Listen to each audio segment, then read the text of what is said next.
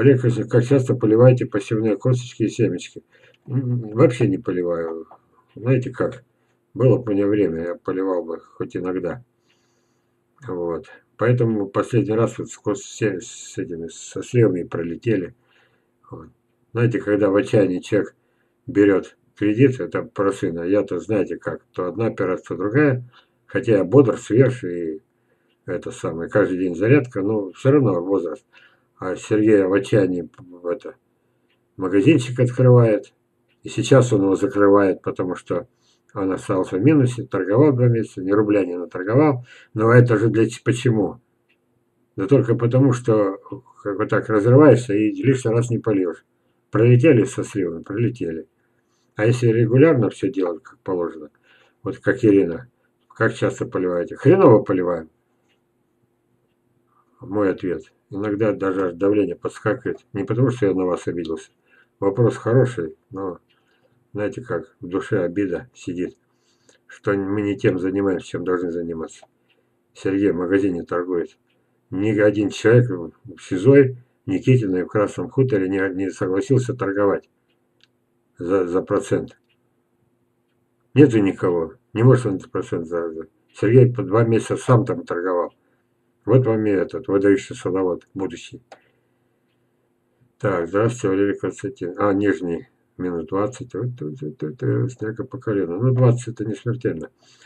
Так, мышей у нас много нет, слава богу, но зато есть, извините, мелкие рыжие садовые, ух, как их ненавидят. Особенно рыжие. Сама наблюдала, как тучами облепляет, проклюнувшие костики выедает простающее зерно. Я бы на их месте то же самое выделал. Начиная с хвостика корешка. Это просто наблюдение за природой в саду. Стал растить в саду, но сначала в одно-двухлитровых пакетах или пол-литровых стаканах. Думала, что опасности нет. Пришли те же рыжие... Ой, что я смеюсь, это, это трагедия. Пришли те же рыжие мелкие муравьи, подчеркиваю, не лесные, а крупные, черно-коричневые, и сожрали семя доли. Вот. Так.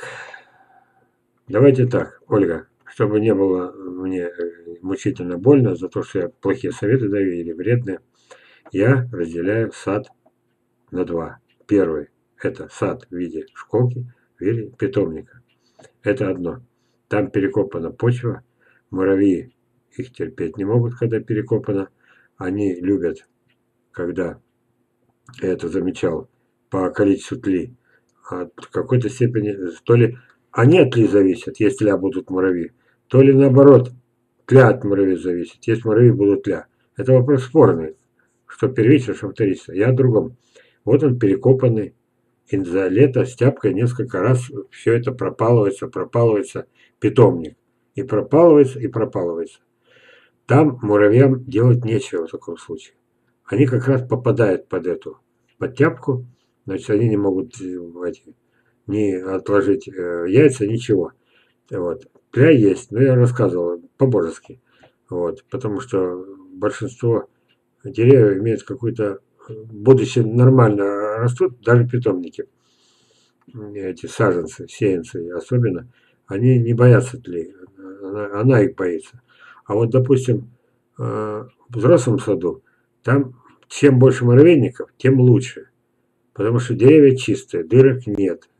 Я был, рекорд был 10 лет, когда этот телевидение снимал, или 13 лет, когда мы обнаружили с телевидением, эту, как это называется, гусеницу. Прошло 13 лет, и, и Тимошка нашел гусеницу, причем не в саду, нет. И мы ее сфотографировали. То есть у нас гусениц вообще нет, нету. Я уже скоро забуду, как они выглядят. Такое впечатление. Понимаете? Вот что такое муравей во взрослом саду. А ваш случай, да, ваш случай, вы только начинаете, это школка, там боитесь с ними как хотите. Тут я не специалист. Вот. Воюйте, пожалуйста, хитрите, выращивайте в пакетах, как угодно, раз они жрут. Вот. Но есть еще такие места, где они есть, а где нету. Это зависит от биополя Земли. Вы знаете, как, ой, я ни разу не говорил про, как я мерил биополе в этих а, в Улях-то там, когда в обозе был, ой, нет времени, другой раз расскажу. Вот. Они еще зависят от того, какое биополе Земли. Вот. Тут они есть, а в трех метрах уже нет. А в 8 метрах есть, а в 20 опять нету. Понимаете, я, допустим, человек наблюдательный, а вы, а вы пока видели, что как они уничтожают ваши эти рассаду. Вот.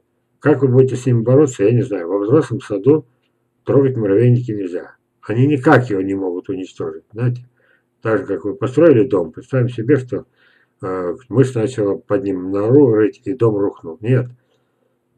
Так и тут. Взрослое дерево, оно настолько защищает само себя, что чихало оно и на муравьев, и чихало оно и на тлю.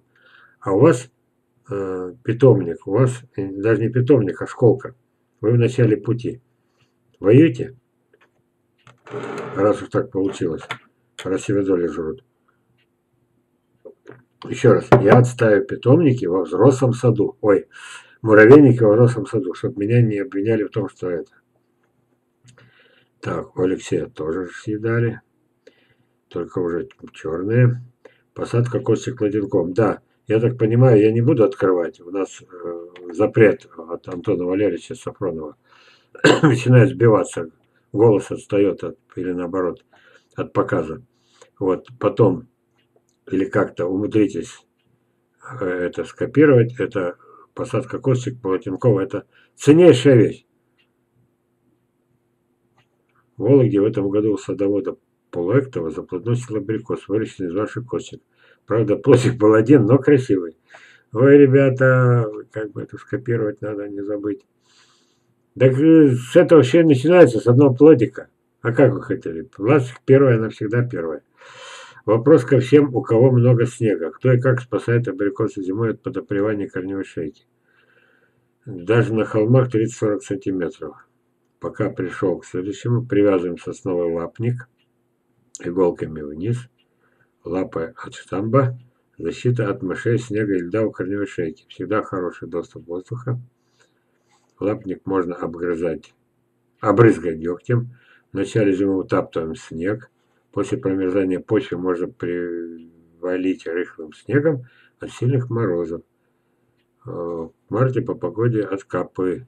В марте по погоде откапываем абрикосы, чуть позже снимаем лапник. У меня абрикосы на сливе, проблем нет. Вот, вот это да. Хочу попробовать вырастить из косточек. Заготовил холм. А на нем уже 30-40 сантиметров снега. Вот и задумался. Ну, что я скажу, Влад? Я скажу, что вы это... Э, еще таких несколько э, этих самых э, толковых писем. Это, считайте, вы вместо меня отвечаете. Вот, всем отвечаете. И все, я свободен. Наконец-то займусь детьми. Так, и вот какую-то ссылку. Вот, вот, вот, вот я сейчас не могу открыть. А, здесь фото. Если фото могу, давайте посмотрим. У нас еще много времени есть. Если это фото, что это не абрикос. А, и все. А что тут написано? Мне бы хотелось посмотреть. Мне бы хотелось посмотреть текст к нему. Какой-то, ну как это называется? Это называется, это называется, это называется так, как туда обратно попасть? Мне всегда нравится, когда помощью этого идет.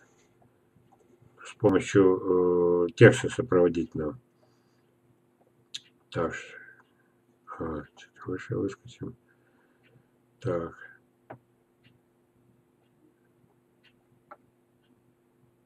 Ага. Вот здесь мы остановились.